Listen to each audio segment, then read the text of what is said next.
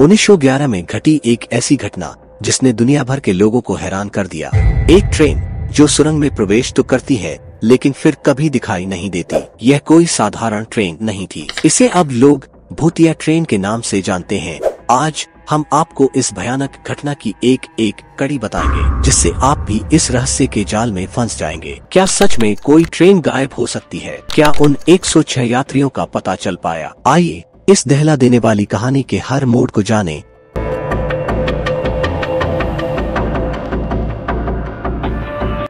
1911 की गर्मियों का समय था। जेनेटी एक्सप्रेस ट्रेन, जिसे इतालवी धनी और विशिष्ट वर्ग के लोग पसंद करते थे, रोम से मिलान की ओर जा रही थी। इस ट्रेन का नाम जेनेटी एक्सप्रेस इसलिए रखा गया था क्योंकि इसे इटली के प्रसिद्ध उद्योगपति विटोरियो जेनेटी द्वारा बनाया गया था। और यह इटली की सबसे शानदार ट्रेनों में से एक मानी जाती थी।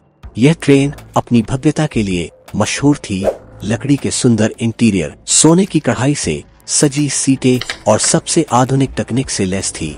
यही वजह थी कि इस ट्रेन में सफ़र करना उस समय लोगों के लिए गर्व की बात होती थी। इस दिन ट्रेन में 106 यात्री सवार थे। हर किसी का अलग अलग उद्देश्य था। पर सब मिलान की ओर जा रहे थे। इन यात्रियों में कुछ प्रसिद्ध लोग भी शामिल थे। जैसे जियाकोमो रोसी, रोम का एक प्रसिद्ध व्यापारी। रोसी ने हाल ही में अपना नया व्यापार विस्तार शुरू किया था। उनका मानना था कि मिलान में उसके नए सौदों के बाद उसकी बिज़नेस में ज़बरदस्त इजाफा होगा। सोफिया मंटिनी, इटली की एक मशहूर लेखिका भी इसी ट्रेन से जा रही थी। उस वक्त उनकी किताबें देश भर में पढ़ी जाती थी। वह अपनी नई किताब के प्रमोशन के सिलसिले में मिलान जा रही थी। लोग उनके काम की तारीफ़ करते नहीं थकते थे और उनकी यात्राएँ हमेशा चर्चा का विषय बनी रहती थी। मारियो बियांची, एक कुशल इंजीनियर, जिसे मिलान में चल रहे एक महत्वपूर्ण परियोजना के लिए बुलाया गया था। बियांची को इटली में तकनीकी क्रांति का एक बड़ा चेहरा माना जाता था और वह नई तकनीक के प्रयोग के लिए मशहूर थे।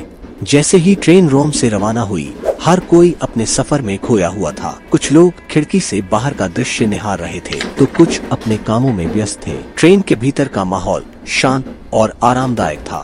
किसी को अंदेशा नहीं था कि कुछ ही देर में उनके जीवन में एक अनहोनी घटने वाली है, जो सदियों तक एक रहस्य बनी रहेगी। इस सफ़र में ट्रेन को एक तेरह किलोमीटर की अंधेरी सुरंग में जाना था, जिसका नाम था लोम्बार्डी। यह सुरंग उन्नीसवीं सदी के अंत में बनाई गई थी। इसे इटली के रेलवे नेटवर्क का एक महत्वपूर्ण हिस्सा माना जाता है और इसका निर्माण कई तकनीकी चुनौतियों के बावजूद पूरा हुआ। लगभग दो घंटे का सफ़र तय करने के बाद ट्रेन लॉम्बार्डी सुरंग के करीब पहुँचने लगी। यह सुरंग इटली के सबसे लंबे और पुराने सुरंगों में से एक थी। सुरंग से गुजरते समय यात्रियों को अक्सर डरावनी कहानियों का ध्यान आता था, जो स्थानीय लोगों के बीच मशहूर थी। इस सुरंग के बारे में कई लोगों का कहना था कि यह शापित है। प्राचीन मान्यताओं के अनुसार, इस इलाके में पहले कई युद्ध हुए थे और हज़ारों सैनिकों की मौत हुई थी। स्थानीय लोगों का मानना था कि इन सैनिकों की आत्माएँ अब भी सुरंग में भटकती है। लेकिन जनेटी एक्सप्रेस के यात्रियों के लिए यह सब सिर्फ़ कहानियाँ थी। उनके मन में कोई डर नहीं था। ट्रेन अपनी पूरी रफ्तार से चल रही थी और जल्द ही उसने सुरंग में प्रवेश किया।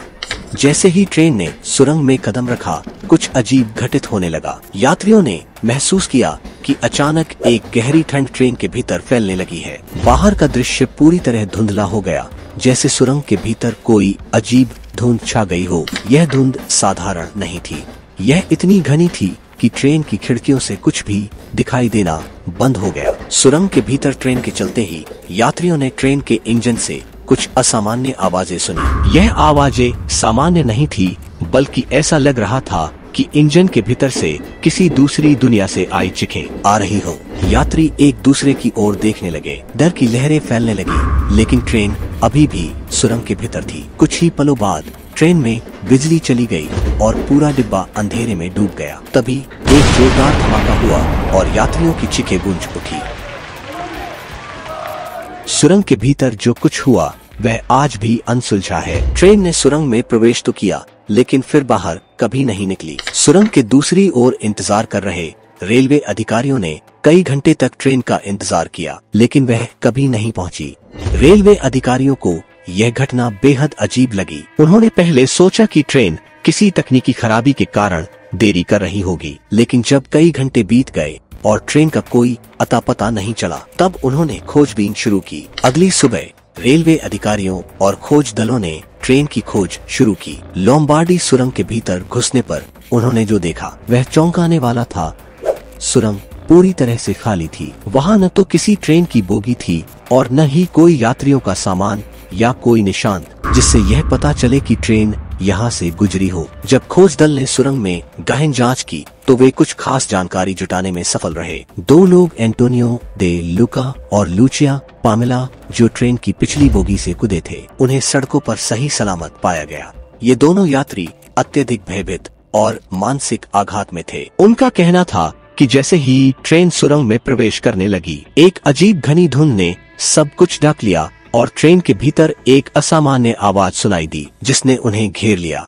उनका कहना था कि धुंध और अजीब आवाजों ने उन्हें इतना डराया कि उन्होंने ट्रेन से कूदने का निर्णय लिया। कूदने के बाद वे सुरंग के बाहर एक सुरक्षित स्थान पर पहुँच गए। लेकिन उनकी मानसिक स्थिति इतनी खराब थी कि उन्होंने घटना की सटीक जानकारी देने में कठिनाई महसूस की। खोज दल ने दोनों से पूरी जानकारी ली, लेकिन उनकी बेतरतीब और घबराई हुई बातें सच्चाई को स्पष्ट नहीं कर पाई। उनके बयान ने इस रहस्यमयी घटना को और भी पेचीदा बना दिया, क्योंकि उनकी कहानियों में कही गई चीज़ें वास्तविकता से कहीं ज़्यादा अजीब और अलौकिक लगती थी। जेनेटी एक्सप्रेस और उसके 106 यात्रियों का क्या हुआ? यह सवाल अब भी रहस्य बना हुआ है। क्या ट्रेन किसी दूसरी दुनिया में प्रवेश कर गई? क्या यह कोई अलौकिक घटना थी या कोई ऐसी वैज्ञानिक घटना जिसे आज तक समझा नहीं जा सका? सुरंग के भीतर हुई इस रहस्यमयी घटना ने जेनेटी एक्सप्रेस को एक भूतिया रहस्य में बदल दिया और इसके 106 यात्रियों की गुमशुदगी आज भी अनसुलझी है। इस घटना के बाद इटली और दुनिया भर में अफवाहों का बाज़ार गर्म हो गया। कुछ लोग मानते थे कि ट्रेन दूसरी दुनिया में चली गई है, जबकि कुछ का मानना था कि यह अलौकिक शक्तियों का काम है। विज्ञान की दृष्टि से कुछ विशेषज्ञों का मानना था कि सुरंग के पास कोई मैग्नेटिक फ़ील्ड था, जिसने ट्रेन को समय और स्थान की सीमाओं से परे भेज दिया। हालाँकि, इन सिद्धांतों का कोई ठोस सबूत आज तक नहीं मिला। जेनेटी एक्सप्रेस आज भी एक रहस्य बनी हुई है। जेनेटी एक्सप्रेस के गायब होने के बाद से विश्व भर में इसके भूतिया स्वरूप की कई रिपोर्ट्स आई। मैक्सिको में 1926 में सैन जोस के निवासियों ने एक पुरानी ट्रेन देखी, जिसमें यात्री निर्जीव दिख रहे थे और ट्रेन धुंध में गायब हो गई। 1934 में अर्जेंटीना कोर्डोबा में एक किसान ने धुंध से घिरी एक ट्रेन देखी, जिसमें यात्री भूतिया स्वरूप में थे और ट्रेन अचानक गायब हो गई। 1950 में इंग्लैंड कम्बरलैंड में लोगों ने रेलवे ट्रैक पर एक पुरानी ट्रेन देखी, जो स्थिर थी और उसके यात्री खौफनाक थे।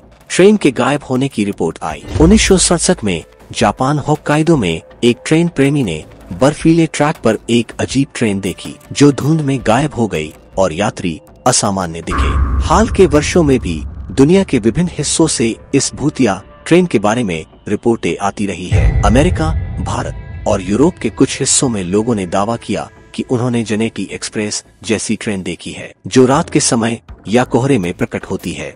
इनमें से कुछ रिपोर्ट्स में यात्रियों के चेहरे भयानक और स्थिर बताए गए हैं और ट्रेन अचानक गायब हो जाती है जब लोग उसके पास पहुँचने की कोशिश करते हैं। इन घटनाओं ने जेनेटी एक्सप्रेस की गुमशुदगी के रहस्य को और भी गहरा कर दिया है। क्या ये सभी रिपोर्ट्स एक ही ट्रेन के इर्द गिर्द घूमती है? क्या ये घटनाएँ हमें उस रहस्यमयी घटना की वास्तविकता के और करीब लाती है? या यह केवल विभिन्न स्थानों पर फैली एक ही के मुदंती है? इन सवालों का उत्तर आज भी अनसुलझा है। तो क्या सच में जेनेटी एक्सप्रेस एक भूतिया ट्रेन बन गई? क्या उस दिन, जब ट्रेन ने लोम्बार्डी सुरंग में प्रवेश किया, वह किसी अनदेखे आयाम में चली गई? क्या ट्रेन और उसके 106 यात्री एक अलौकिक घटना का शिकार हो गए या यह सब केवल एक अजीब संयोग था क्या ऐसा हो सकता है कि ट्रेन के गायब होने के पीछे कोई गहरी रहस्यमयी शक्ति काम कर रही हो, जो समय और स्थान की सीमाओं को पार कर सकती है या क्या यह सब कुछ स्थानीय मान्यताओं और पुरानी कहानियों का ही परिणाम है? ये सवाल आज भी अनुत्तरित है और जेनेटी एक्सप्रेस का रहस्य अब भी हमें हैरान करता है। क्या आपने भी कभी ऐसी किसी रहस्यमयी घटना का सामना किया है? या क्या आपके पास इस भूतिया ट्रेन के बारे में और भी जानकारी या थ्योरी है? कृपया अपने विचार और टिप्पणियाँ हमारे साथ साझा करें। अपना कमेंट ज़रूर करें और हमें बताएँ कि क्या आप भी इस रहस्यमय यात्रा का हिस्सा बनना चाहेंगे।